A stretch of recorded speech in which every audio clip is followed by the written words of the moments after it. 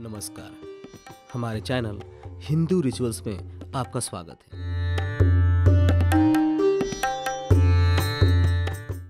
आइए जानते हैं आठवें शक्तिपीठ, वृंदावन के कात्यायनी शक्तिपीठ के बारे में। ब्रह्म वैवर्त पुराण के अनुसार, वृंदावन में ब्रह्म शक्ति कात्यायनी विराजती है, जो एक सौ आठ शक्तिपीठों में महत्वपूर्ण पीठ है।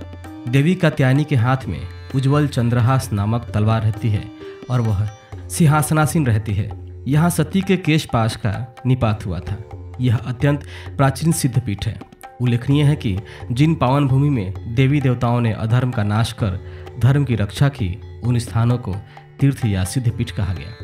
श्री कृष्ण की पावन क्रीड़ाभूमि वृंदावन में यमुना के निकट राधाबाग स्थित माँ कत्यायनी देवी का यह सिद्ध पीठ अति प्रख्यात है। कत्यायनी नौ दुर्गा में षष्ठ दुर्गा है। कहते हैं कि व्रज बालाओं ने श्री कृष्ण को पाने के लिए इस सिद्ध पीठ के माँ कत्यायनी की पूजा उपासना की थी। काल रूप पीठ के तत्कालीन स्वामी के शिष्यों ने इस भव्य मंदिर का निर्माण माघ पूर्णिमा उन्नीस सौ अस्सी अर्थात 10 फरवरी सन 1923 को कराया था। वृंदावन स्टेशन मथुरा से 15 किलोमीटर आगे है। यहाँ मथुरा से रेल, टैक्सी, ऑटो, बस द्वारा जाया जा सकता है। यहाँ श्री कृष्ण बलराम का श्वेत संगमरमर का इस्कॉन द्वारा निर्मित मंदिर भी दर्शनीय है। साथ ही यहाँ अनेक मंदिर विद्यमान है। श्री बाके बिहारी जी का मंदिर अति प्राचीन मंदिरों में से यहीं पर है।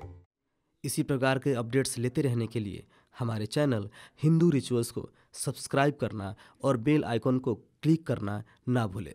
धन्यवाद।